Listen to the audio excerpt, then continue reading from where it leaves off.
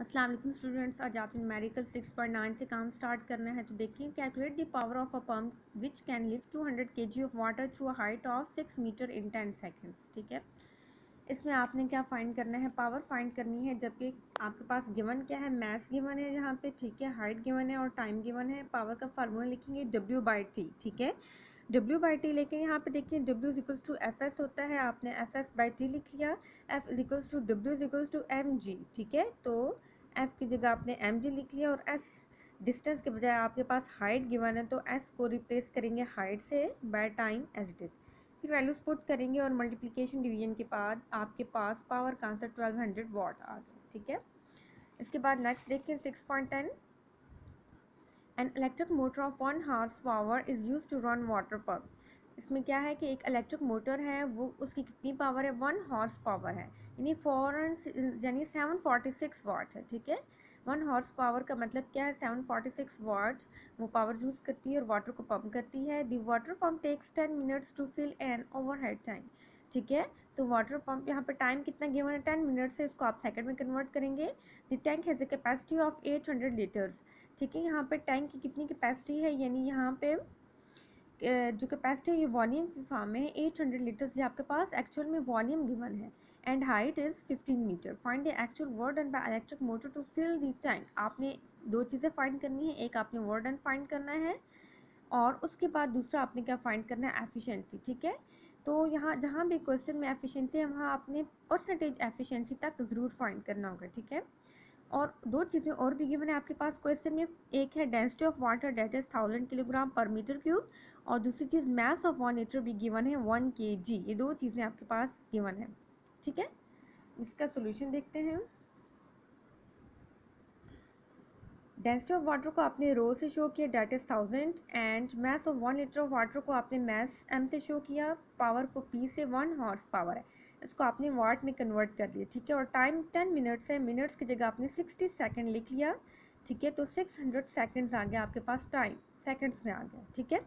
इसके बाद height given है fifteen metre capacity of tank आपने इसको कैपेसिटी ऑफ़ टैंक को वॉल्यूम से शो किया that is eight hundred litres ठीक है? और दो चीज़ें फाइंड करनी है, एक वर्क और एक एफिशिएंसी तो फ़र्स्ट देखिए वर्क वर्क आप पावर के फार्मूले से फाइंड करेंगे यहाँ पे।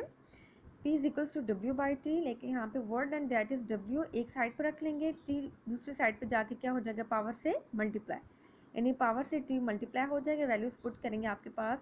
Actual word and four four seven six hundred joule आ गया ठीक है? अच्छा अब ये जो मैंने इनपुट लिखा है और total input energy in case of efficiency ये इनपुट आपको एफिशिएंसी की फॉर्म एफिशिएंसी में काम आएगा। यानी जो वर्क है, ये आपका एज इनपुट एफिशिएंसी में यूज़ होगा, ठीक है? सेकंड चीज़ आपने एफिशिएंसी फाइंड करनी है। इसमें देखें आपको पता है कि यहाँ पे रो यानी डेंसिटी जो होता है वो मैथ पर यूनिट वॉल्यूम होता है, ठीक है? डेंसिटी को आपने रो से शो किया। रो क्या होता है? ये मैथ बाय वॉल्यूम होता है। ये डेंसिटी का फार्मूला ये आप चैप्टर सेवन में डिटेल से पढ़ेंगे, ठीक है? अच्छा यहाँ पे अगर हम मैथ की वैल्यू फाइंड करना चाहें तो जो वॉल्यूम है वो डिवाइड हो रहा है मैथ से, ठीक है? तो दूसरे साइड पे वॉल्यूम जाकर रो से या डेंसिटी से मल्टीप्लाई हो जाएगा। ये अगले स्टेप में आप देख सकते हैं, ठीक है? यहाँ पे अगर हम मैथ्स को साइड पे रखें तो हमारे पास डेंसिटी मल्टीप्लाई वॉल्यूम आता है, ठीक है? डेंसिटी की जगह आपने थाउज़ेंड लिख लिया। वॉल्यूम आपके पास क्वेश्चन में गिवन था एट हंड्रेड लीटर ठीक है? आपने थाउज़ेंड इसी तरह लिखा एट हंड्रेड आपने इसी तरह लिखा और लीटर ये आपको यहाँ पे याद होना चाहिए कि वन लीटर जो होता है वो टेन की power minus three metre cube के इक्वल होता है, ठीक है? तो वन लीटर की जगह आप टेन की पावर माइनस थ्री लिखेंगे। यानी देखें एट हंड्रेड आपने इसी तरह लिखा और इस लीटर इस लीटर की जगह आपने टेन की पावर माइनस थ्री लिख लिया, ठीक है? फिर देखें थाउज़ेंड को आप टेन की पावर थ्री में कन्वर्ट कर लिया, टेन की पावर माइनस थ्री, दोनों आपस में कैंसिल हो गए, आपके पास एट हंड्रेड के जी ये मैथ बच गया, ठीक है? अब देखें आउटपुट में भी आपने वर्ड एंड फाइंड करना है वर्ड एंड का फार्मूला लगाना है W is equals to M G H ठीक है?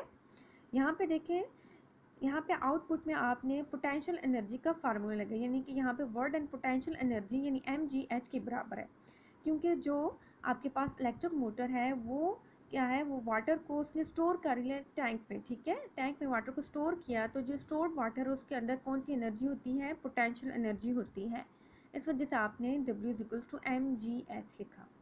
फिर वैल्यूज़ पुट कर ली वन ट्वेंटी थाउज़ेंड जोल आपके पास आउटपुट आ गया अब एफिशिएंसी का फार्मूला भी आपने पढ़ा हुआ है।